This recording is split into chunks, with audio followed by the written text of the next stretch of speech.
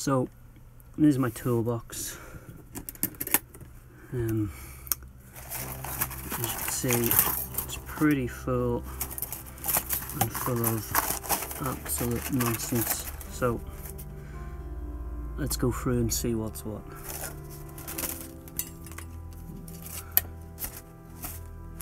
Some wire.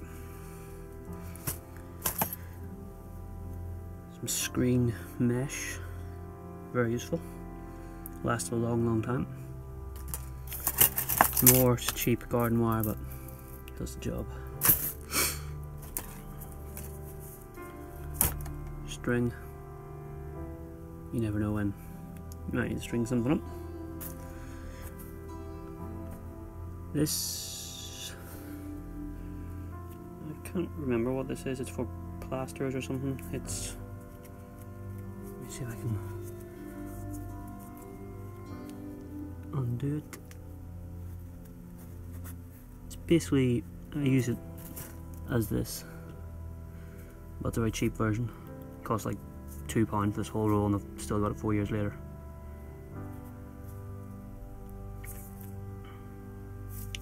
But it gets it's sticky, so it gets stuck, and you have to spend ages cutting it out.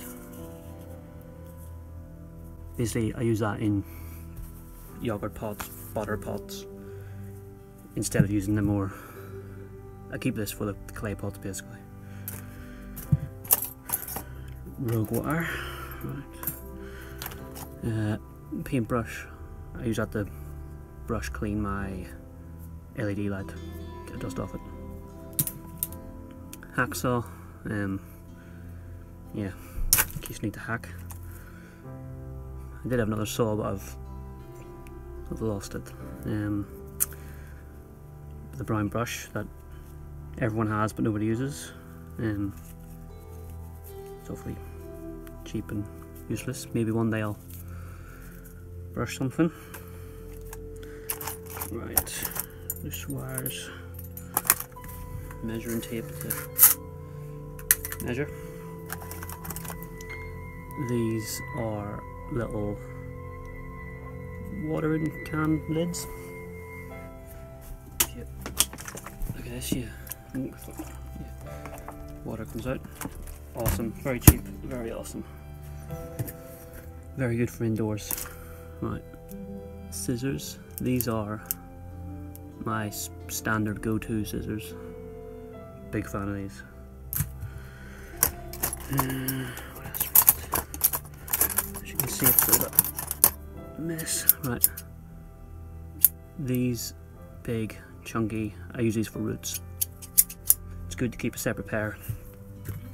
Top cutting, root cutting.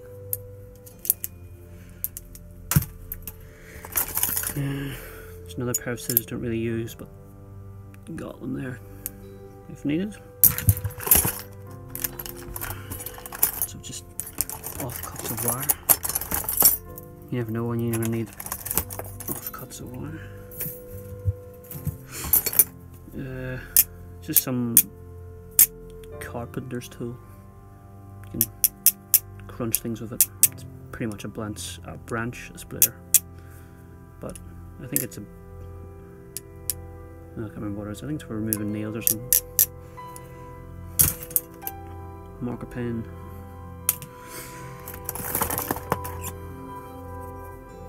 Pair of pliers, I think jin pliers. Okay. You need the bent wire. Don't don't use that much, but good to have. Uh, just wire cutters, as you can see there very well looked after.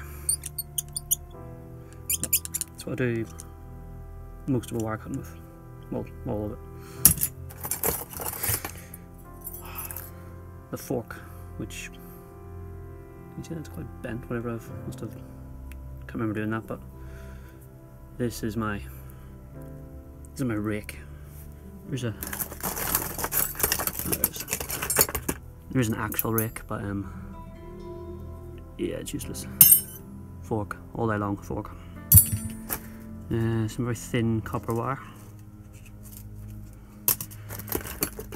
Uh, go with my fork, I've got my spoon. This little spoon things in. What do you call this? Rooting hormone. That I've had that for about four or five years. That just lasts forever. That's always good for cuttings. Little little scissors, as you can see there. A lot smaller than these ones. So these are for little leaves. Toothbrushes, cleaning trunks and whatnot.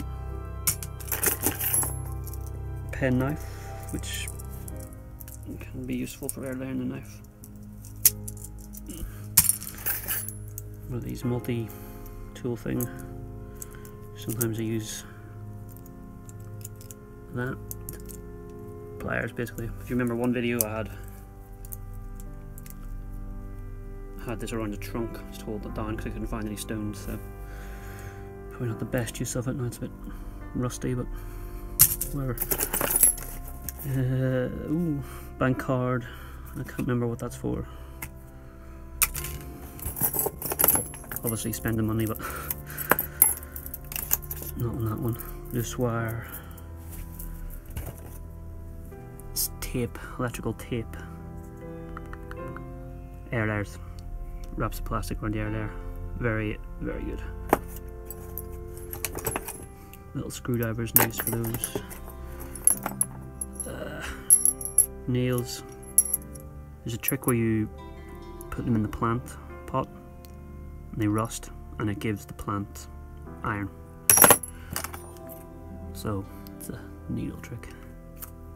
A little it's a box cutter, Stanley knife thing.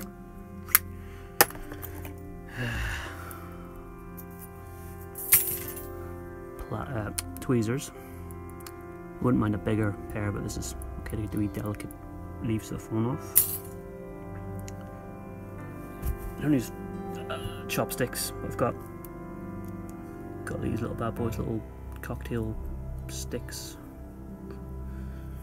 Good for poking in soil. And little pots. Seems you can use these, or you can even use the nails to do that. I often use bits of wire and just poke that, poke the soil down the wire, get in there and wiggle it around. Another square that can be reused. It's more of the electrical tape, it's like a pound for that and that will last your whole life. Another spoon to spoon. Uh, these are the knob cutters, these are these are pretty good. I like knob cutters.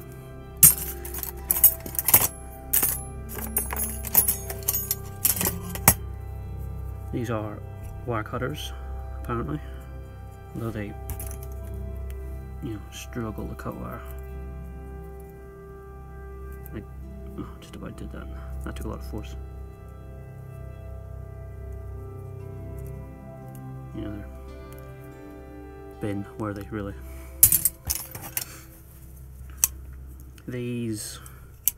Concave branch cutters. Are in a bit of a state.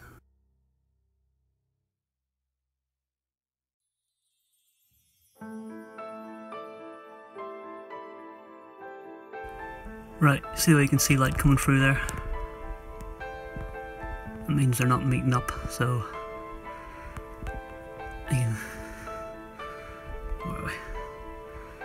see they're not in line, they're all wrecked. Completely useless. They don't even match, meet up in the middle anymore, they're wrecked. I Need a new pair of these. These are... These are awesome, but not this pair, these are wrecked.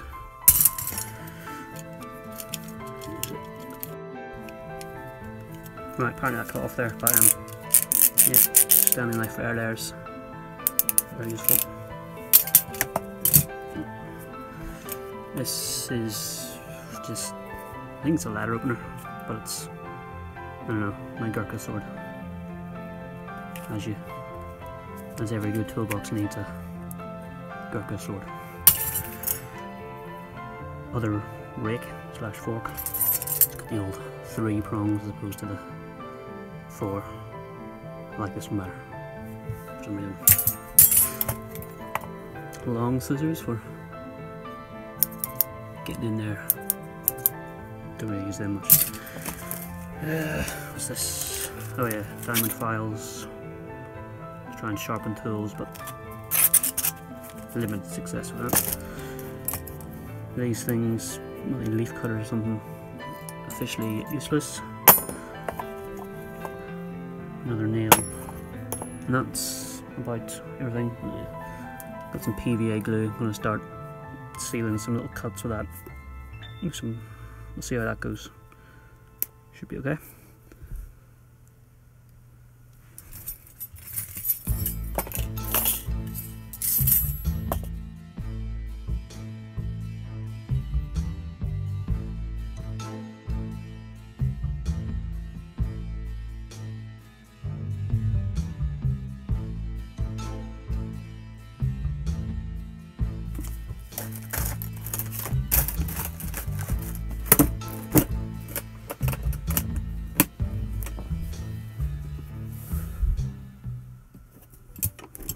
As you see, bit of a tight fit.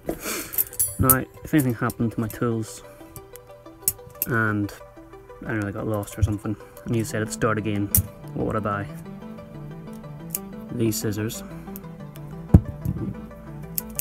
I use these 99% of the time. Very good scissors. Buy a pair of root scissors. You want to keep them separate because these get mashed up in the dirt. Well, these are for the top, so Get yourself two pairs of scissors. Don't have to be these type, could be any type, but you want a good thick pair for those crunchy roots. And probably get a pair of these, but you know, a good pair. Maybe a knob cutter, but I could probably do without that. And my good old rake. That would be my bare minimum starter which you can't even see. there you go. Right, so my bare minimum these four. And maybe a wire cutter if you want to get into wiring, but that can come later and you've probably already got a pair of those. And then if you're feeling fancy, get a pair of these as well. But these these are the top four if I just had these, I could do pretty much everything. So, big fan of these. I've got an Amazon link below. You can click on that and most of these things are on here and most of the other things in the toolbox but if you're just starting out these these are what you want anything else you can add in future and whatnot. I had one of those, you know, those full light all the tools, which is where some of these have come from. They're only like 30 quid, they're cheap, but they're cheap for a reason, they're shit. Um, you're better paying 30 quid to get a good pair of this than 30 quid to get the whole set. As for the box, there was a shisha pipe in here, but threw that out because I'm no smoker. Now I just keep everything in it. It's pretty small, but it holds everything. Like I said, you don't need these for anyway. And then I'll give you a little look at the difference between these because there's a lot of argument and debate are they any different or used to each other. Similar, you could get away with using either or, but the more advanced you get, the more you realize there's a difference. But as a beginner, you can just get away with chop. Yeah, that's my toolbox and what I would recommend to get. Just before I go, I've realised I'm missing a few things. They must have got lost in the move from London. I used to have a pair of surgical scissors like this. They're just another decent pair of scissors to use for pruning. I also used to have a knife, I really hope it's not ended up back in the kitchen drawer. I find these are good for putting down the edges of a pot, trying to pry out the tree when repotting. I also have this branch bender thing. It's not lost, it's just not in the toolbox for some reason. I've never used it. I'm sure most of you have one, but have you used yours? Let me know below. I also used to have some standard gardening tools, which are still decent to have for anything larger. These saws are great for cutting through bigger things. I'm also missing my secateurs, which can easily replace scissors and branch cutters, especially for thicker branches. Lastly, I've lost my loppers, very useful for larger material, so I'll have to buy some of these again. Thanks for watching, see you next time.